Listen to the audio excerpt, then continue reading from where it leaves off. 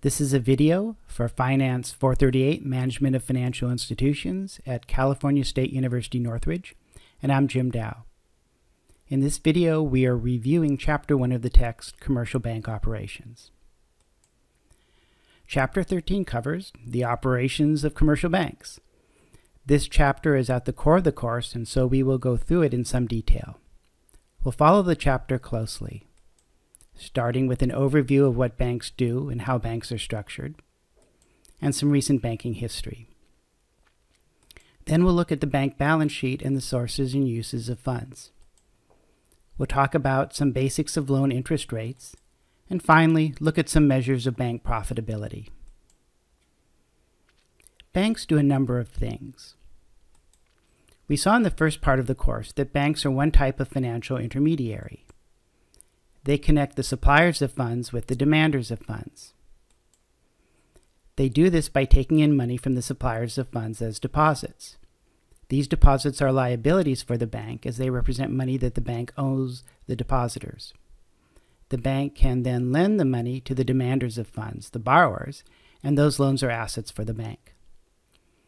While banks have other assets and liabilities, for most banks, taking deposits and making loans is their primary activity and we will spend a lot of time thinking about how banks do this.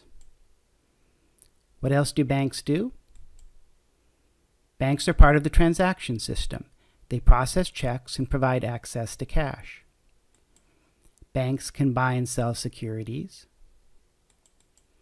Banks can provide financial advice and wealth management services to individuals. This includes not only deposits, but other financial products such as mutual funds and insurance. It turns out that what we commonly think of a as a bank covers several different kinds of institutions. Some institutions look like banks but are not formally called banks, and other institutions are called banks but might not take deposits or make loans. We need to distinguish between these different institutions both by what they do and how they are regulated.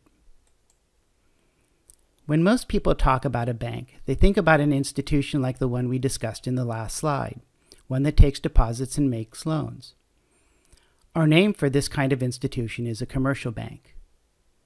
Because of the way the regulatory structure is set up in the United States, there are two other categories of institutions that do the same. Savings banks, sometimes called thrifts, and credit unions. In a later lecture, we will talk specifically about these institutions, but most of the concepts we develop in this chapter about taking deposits and making loans will also apply to them. Finance companies provide loans like commercial banks, but they don't take deposits. Investment banks are called banks, but generally do not engage in traditional commercial banking activity, but rather engage in other kinds of financial activity. We use different terms to describe the organizational units of a bank. A bank is the legal entity that is subject to various rules and regulations for banks. A branch is a physical office of a bank that is not a separate legal entity. A bank holding company can have underneath it separately regulated financial entities, such as a commercial bank, an investment bank, and an insurance company.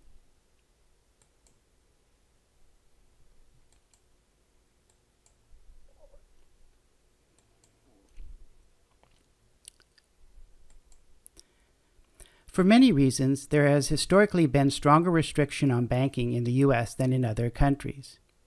In part, this has to do with the distrust of large financial institutions and efforts to reduce the effects of a banking panic.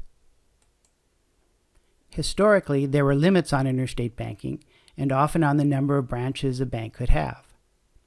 States played an important role in regulating the banks in their state.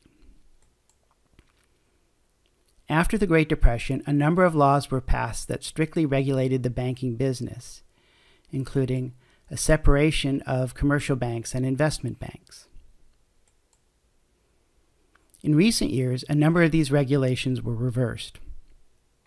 We'll talk more about this in a later video.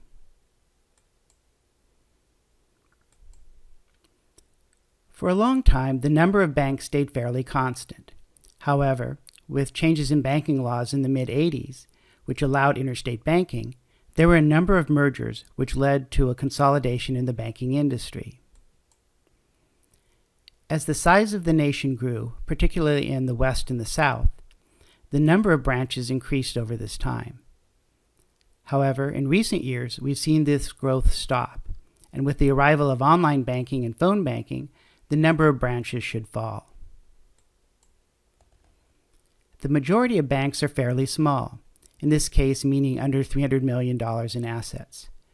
But most of the assets are held at large banks. The largest banks, each with over $10 billion of assets, make up around 2% of the number of banks, but hold 80% of the assets.